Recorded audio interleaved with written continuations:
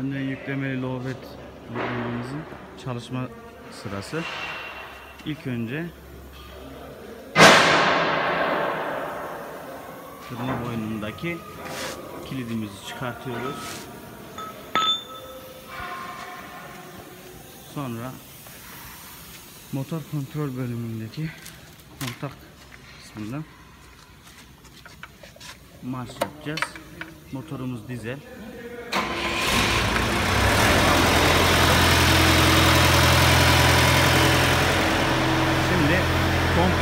Ünitesindeki kumanda kolu veya uzaktan kumanda ile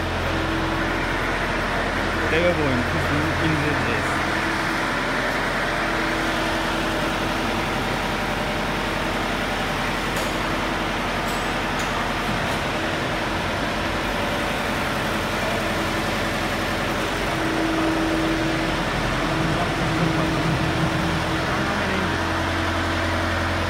Arkadaşımız kolu indiriyor ve yere düz hale geldi dorsemiz.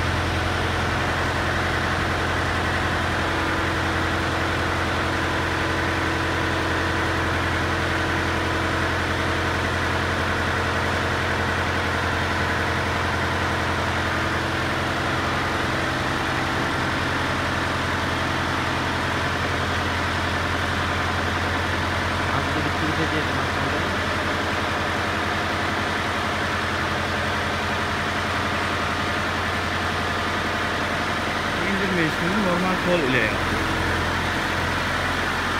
İstersek kaldırma işlemini aynı şekilde kumandaya da yine aynı kol ile yapabiliriz. Nereye kadar kaldıralım. Bu şekilde kaldırıyor.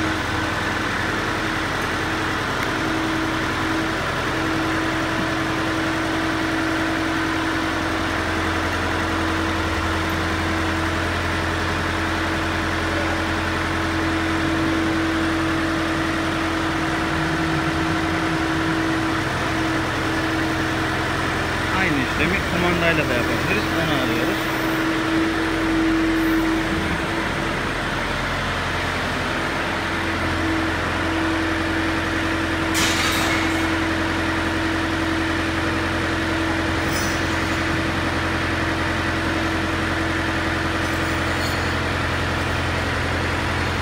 Silindirlerimizin her biri 20 ton kaldırma kapasitesine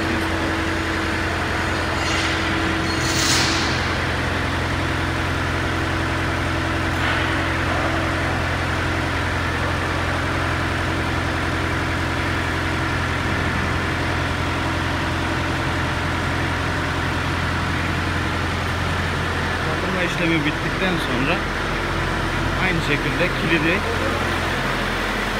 yuvasına yerleştirmemiz gerekiyor.